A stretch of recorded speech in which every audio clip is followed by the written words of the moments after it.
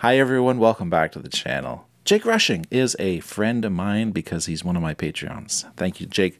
And he wanted me to react to Cynic.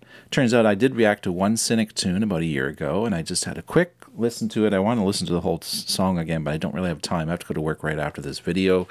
And uh, and it turns out too that video, which will be linked below, uh, my camera was out of focus or something, so I had to put a weird filter on it to sort of cancel out that focus out of focusness. Anyways, so let's react to this uh, this very new song. Actually, they have a new album out according to Jake, and uh, obviously it's worth checking out. He said it's one of his favorites now. So let's react. Here we go.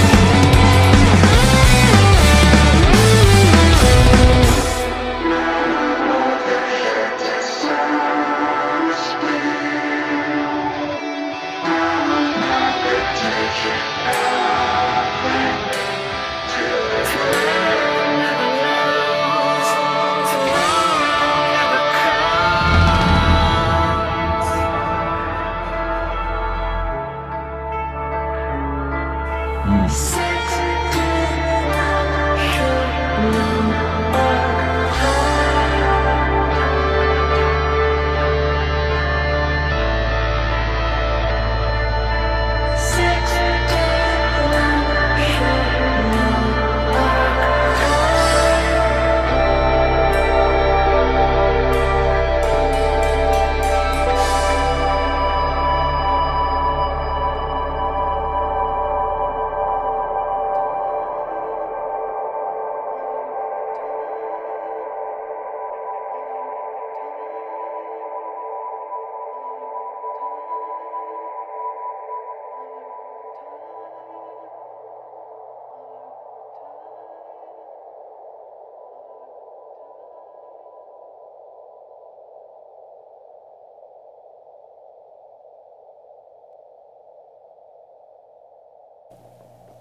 Hmm.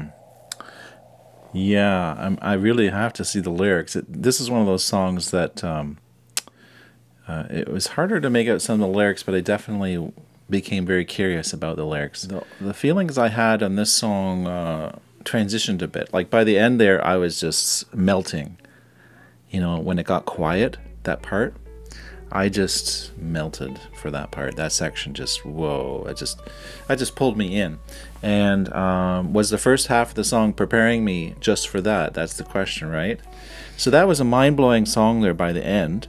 At the first, as I was listening listening to it, it was to me it's a very layered song. I mean, if I'm going to like find a a comparison or a metaphor for how I was thinking like going to an art museum and this is sort of like a painting that has many layers and it looks kind of busy but if you mentally dissect it and say oh yeah there's a square there there's there's there's that there's that kind of shape form and then there's this here this kind of texture underneath it. So it's very layered and um, I think it's one of those songs that you, you the first time it's not going to grab you. I guess there's nothing in there that I would like and if I was a A&R at a record label or something and I was looking for more pop music, this band would definitely not appeal to me. They're just doing something that's their thing. They're just doing their thing and um, whoever connects with it is going to connect with it. That's just, to me, that's a very natural way to approach it. So Cynic are really an intriguing band, and um, super unique. And uh, it seems to me they have a lot to say musically. Let's take, take a quick look at the lyrics. So the first line is like, I was floating through a beam of light. And for me, that's exactly, I guess, what I would describe what happened to me when the song finally came to that peak uh, at there and that slowed down. Uh, I was floating through like a beam through a beam of light, saw the edge of a ship in the sky, entered through a port from below. Crystalline machinery exposed. Oh, cool! This is very science fictiony. Yeah, I'm I'm big on sci-fi. How about how about all of you? I'm just curious uh, if you're into progressive rock. Would you say that you are a sci-fi fan or a fantasy fan or both? or not a fan, I'd, I'd say uh, leave a comment below. I'd be very surprised if any progressive rockers uh, were not into science fiction. You know, maybe they may lean toward fantasy, you know, Lord of the Rings or whatever, as toward uh, hard science like Arthur C. Clarke or. Uh, so, really inspiring, a bit of a spacey feel to it. That makes sense looking at the lyrics and the name of it too Sixth Dimensional Archetype. So uh, they're they're big thinkers here in the band, and um, they are not afraid to just be themselves, obviously, because uh, it's it's nice, fresh, original sounding approach to music. So that's the React. Thanks for checking it out, and we'll spiral out until our next video. We'll see you soon. Bye.